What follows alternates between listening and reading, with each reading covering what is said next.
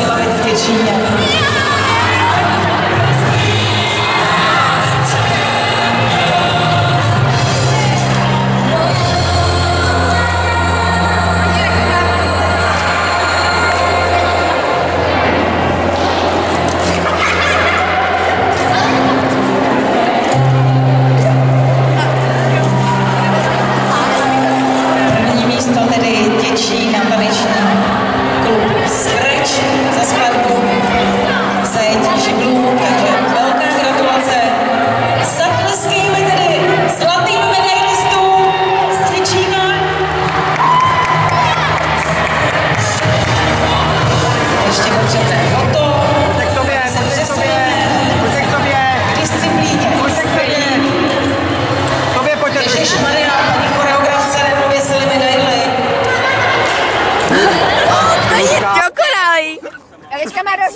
Balcarová, jaký máte dojem? P, uh,